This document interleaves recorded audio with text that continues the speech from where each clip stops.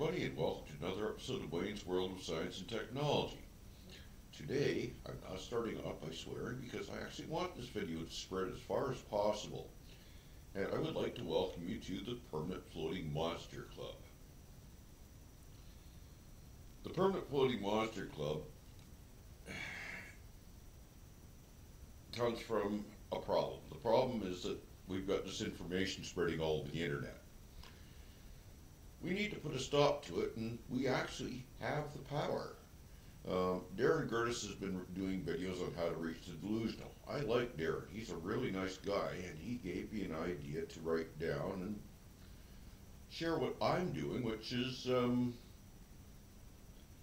a different way. Basically, what it comes down to is you have to fight fires by smothering them. How do you smother misinformation? Simple. Bury it in reality. You'll complain that there are too many sources. And yes, for one person there is. But there's already a bunch of people working the way I'm going to tell you. And we outnumber the misinformation sources.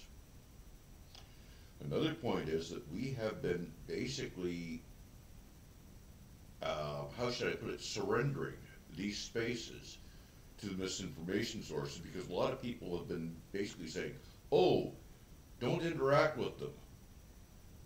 You'll help spread them. Sorry, folks, that does, that's not what's happening.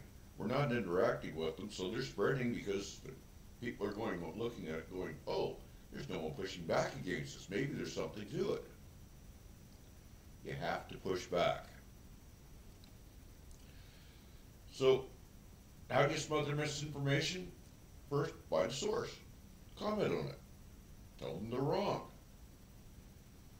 Uh, exactly how you tell them they're wrong is up to you. I can't advise you on what's going to work for you. Everybody is different. We all have our own personalities. What feels right for me may not feel right for you, and what feels right for you may not feel right for me. That's just the way it is. We all work differently. So do it your way. And if you don't feel you can do it, because let's face it, there's going to be a lot of pushback, and there's going to be people who don't to handle the pushback, spread this so that people can handle the pushback see it. If you can't spread it on social media, talk to your friends about it. The point is, we do outnumber them by a considerable margin. And they've been having the um, a lot of areas free. Anyway, um, you probably don't want to imitate me. Um, YouTube keeps handing me unnecessary one-day bans for unnecessary roughness. I can even get banned by Musk's free speech Twitter. Yeah, I'm a bit of a loose cannon. But, as I said, there's a lot of us. And you don't have to do it my way, do it your way, however you feel comfortable. And keep it up. You don't need to comment every day. And you just need to comment often enough that they know you're there. And that will have an impact on what they decide to do. They meaning the misinformation sources. It's also going to have an impact on people who drop in, look and go, oh, somebody's arguing with this uh, maybe it's not so uh, wonderful after all. Because what we're really trying isn't to go after the misinformation sources themselves. We're trying to get to the people who they are attracting. That's who we really want. Uh, once you find one misinformation source, you won't need to search for others the algorithm on every social media site out there will feed you more victims, I mean, or uh, disinformation sources to uh, debunk. But keep hitting the same few targets. Let them know that you are there, that you are regularly there, that you are monitoring them. Let them know that you specifically have targeted them. Here's what it's going to do. First, it breaks the echo chamber. I've looked into these tons of these sources. Most only get comments from people who agree. And I mean, it really is an echo chamber. You can go in places on YouTube, and the only comments you will see will be from people going, oh my, this conspiracy is absolutely 100% real. and there's no one giving pushback. You have to get in there and give pushback.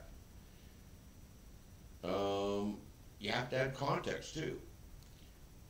It's silly things like in the Russia-Ukraine war, they say, "Oh yeah, wait till Russian military production ramps up," and it's like, well, uh, pardon me, but one smaller NATO country is building 600 armored vehicles per year per for Ukraine.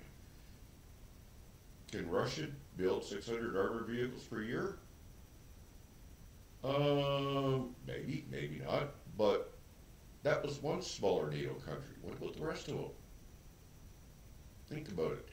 You add that sort of context, people start getting going, oh, okay, now I see what you mean.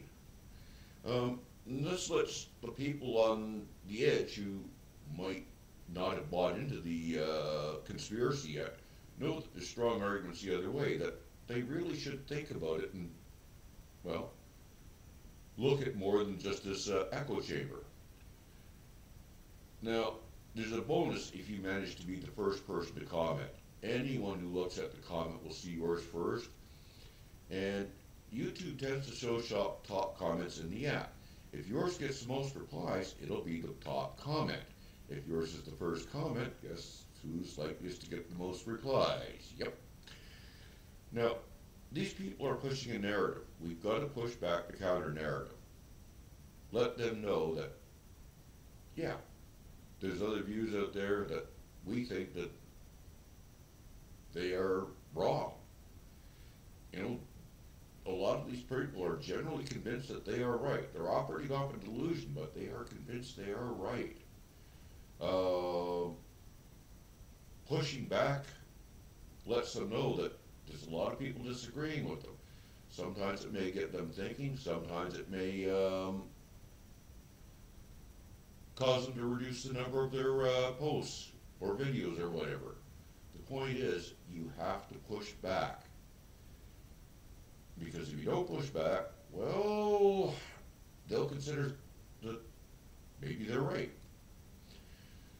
By commenting, you're going to disturb their echo chamber. You're going to force people in that echo chamber to start thinking.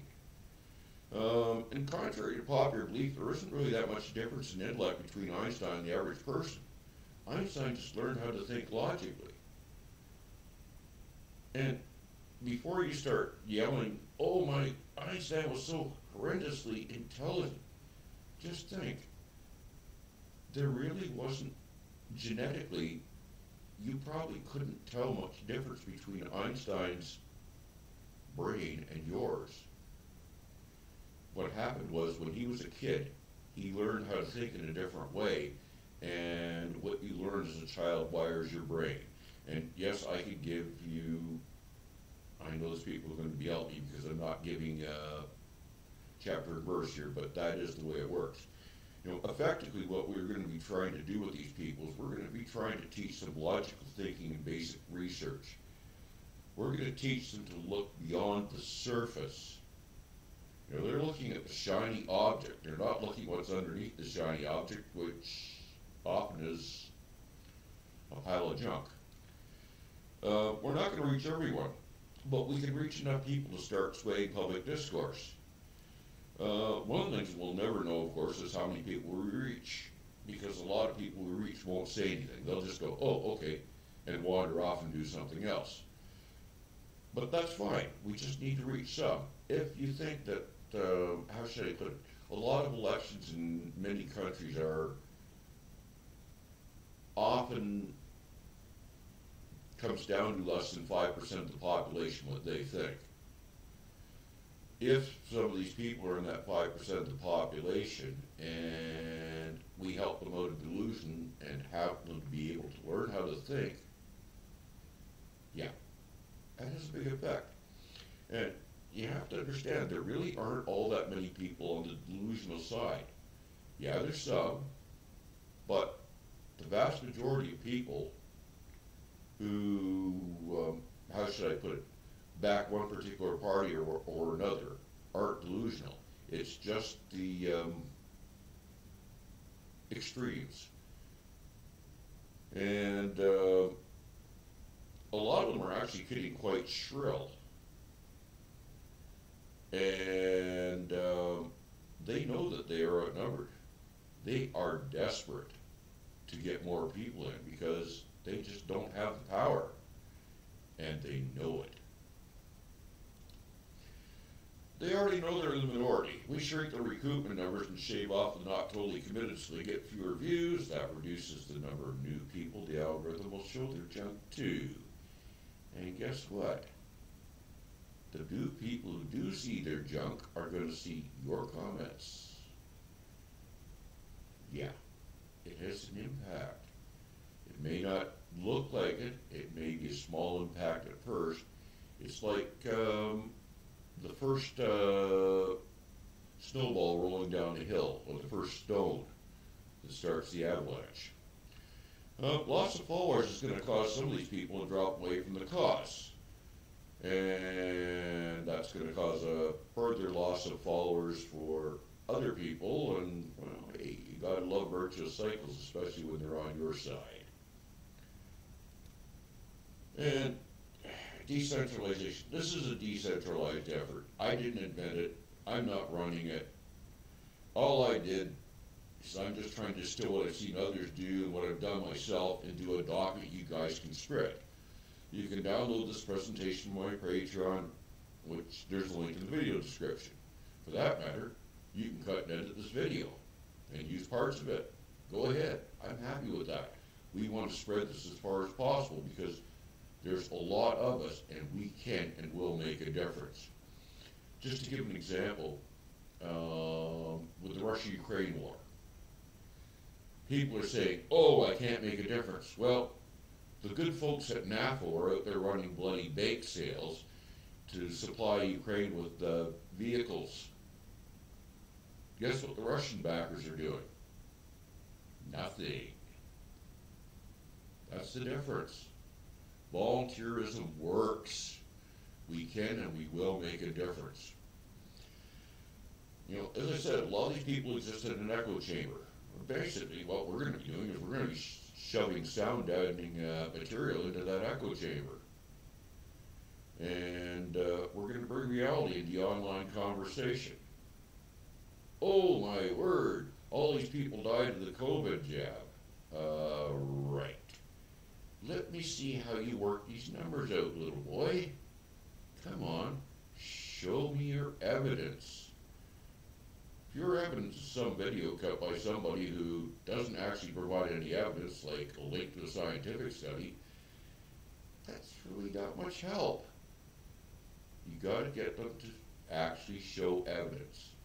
And they've got to justify the evidence they're showing you because they will try and show you evidence out of context because they won't know what the context is. It's a big problem. We have an issue with um, education. People don't understand context and how to work out the um, basics. You know, it's uh, too many people basically are operating off what they heard from Bob at work, who heard from his fifth cousin's third wife, at the pub. Uh, yeah, you know the routine. And uh, another thing is, you cannot use the mainstream media against these people. Most of them avoid the mainstream media like the plague. They don't think it's real. Okay, they don't, don't think scientific studies are real. They aren't going to think um, reports on oil uh, shipments are real. They aren't going to think anything's real. That's what they're going to tell you. But you keep on smacking them with this stuff, and it does get through. And so because of the distress in the mainstream media, you can't use a debunking source. Corporate websites, industry organizations, uh, all that sort of thing. It's just wonderful information that you can use. There's an immense stock of information out there on the internet on who is really doing what, and it is amazingly accessible. Think legislation. I've seen tons of arguments over what a piece of legislation meant, but of these people actually read the text. They didn't know what it meant. They were getting excited over nothing. And that's the sort of thing you have to turn around and say, okay, here's what the words say, and push it at them. Quote the actual text of your source, link to it. Pound them with facts. verifiable facts, not what some bloke at the pub told them. You won't convince most of them, but you will kill recruitment with facts because the people who aren't already in the echo chamber are going to see those facts. They're going to say, "Oh, I didn't know that." That makes a difference. Now, you're going to get a lot of pushback from these people. When someone truly believes, it can be disconcerting to get slapped with the fact that disagrees with what they think. Some of this pushback is going to be pretty nasty. Uh, I really don't recommend getting into some of this unless you have a thick skin. Uh, I notoriously have a thick skin, but hey, that's me. Some people are not going to be able to do this. It, it depends on your personality. If you can do it, great. If you can't, support those who can to the best you can. You know, facts are nasty things. If people tell you you see flying elephants, well, yeah. Hmm, hmm, hmm. But if you tell me people how many different species of elephants that there are, provide references, it's different. It has impact. That is sort of facts that they can look at and go, oh, I see what you mean. You know, facts can be unpleasant. Your car won't start and you have an important meeting at work. That's an unpleasant fact. But denying the fact that continuing to sit in your car just is not feasible. Hmm, facts are nasty. Toss facts into the debate. Too often facts are totally lacking. People just ignore it. You know, like a smelly dead fish, facts tend to get noticed. And these people are going to try and refute the facts, and hopefully in their digging they find more and more confirmation that, yeah, those facts are real. When they come back to you, always insist they provide primary sources. YouTube video by some random person, like me, doesn't really cut it. I mean, let's face it, I have a certain amount of knowledge, I'm trying to share it, but do you know that? there's always that question. You've got to search for sources that are reliable, and you've got to show people sources that are reliable. And facts are the winning tactic. Reality is the winning tactic. If somebody out there starts arguing with you, ask them, would you follow a route that you uh, planned months before and then stop sitting there because oh, they took the bridge out for uh, construction purposes while uh, between the time you made your plan and uh, when you actually did the trip? No. Use your navigation software to find a way around. Well, heck, your navigation software would have already found you a way around. You wouldn't have used the map in the first place. But you said, keep pounding on the facts. Facts matter. Hit them with facts. Pick your arguments. Uh, that's another important thing. Stick to areas you know the best at first, expand later. If you don't know anything about a particular area, skip that particular argument. Because not knowing and trying to say you know something is really bad. You know, don't push yourself too far because while you're teaching them, you're going to be learning yourself every day I turn around and I go and I'm looking for more and more data. It's like, oh, look at this neat site. Wow, it's got all the oil revenue data. Useful. Or, oh, isn't that nice? That site has all the information on transparency or migration. It's so much fantastic information. And these people are ignoring it. So use it. Learn from it teach them, and have fun. Well, you're teaching these people, you'll be able to torture them. Learning to think can be really painful. Yeah, I'm a mean old guy. Injustice, death, and all that sort of thing tends to put me in a really foul mood, and yeah. Under circumstances like that, torturing people by teaching them how to think, that sounds like a great idea putting a kink in the injustice machine, and uh, you really wouldn't believe what some of these people think of women by uh, torturing folks or uh, teaching them to think. Yeah, sounds like a good idea to me. Sounds like fun. In closing, yes, you can make a difference because you aren't alone. There are already a lot of us out there. All I'm trying to do is recruit a few more and get them to recruit a few more to break up the misinformation chain. We had a few more people here, a few more people there, we can really make a difference. So please share this video presentation as widely as you can. If you can translate into other languages, hey, that's a bonus. That would be really useful. Whatever you can do to help is going to be greatly appreciated. We will make a difference and we will stomp on this information machine and kill it. Anyways, have fun, folks. Glory to Ukraine. Glory to the heroes. Here's seeing to Putin in handcuffs before the International Criminal Court. Unlikely, I know, but hey, I can dream. I have a dream. You know, I wonder if I built a prison for international criminals like Putin, would they come if I build it? See you later, folks. Bye bye.